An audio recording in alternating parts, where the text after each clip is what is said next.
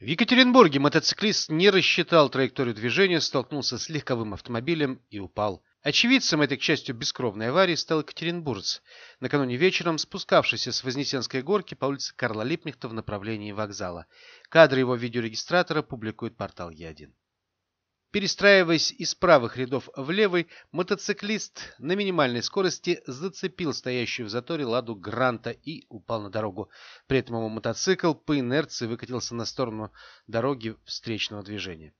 Чем молодой человек зацепил ладу, оказавшуюся таксомотором, очевидец не понял, то ли самим мотоциклом, то ли ногой, но, поднявшись, байкер заметно хромал.